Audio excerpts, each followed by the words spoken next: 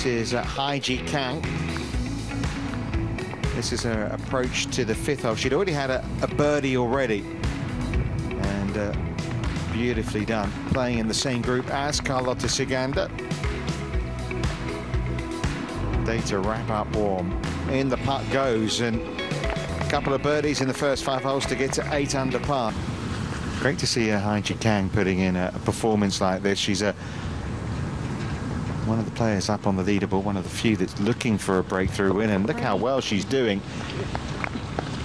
Very different to US style golf.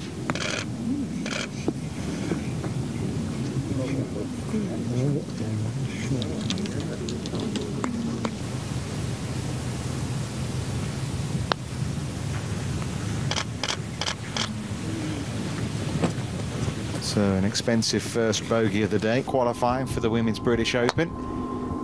She's going to get one of those three places uh, up for grabs on offer this week for LET members. Look at that one go. That got absolutely launched forward.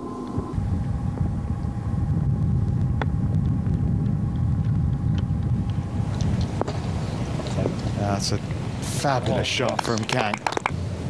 And it's important the prize money goes up in this event as well each year. So we're we're keen to we're keen to promote diversity. So let's see what kind of strike Haeji Kang can get out of the fescue. Yeah, now it's wet. It's a little tougher, but she's uh, used the contours there really well.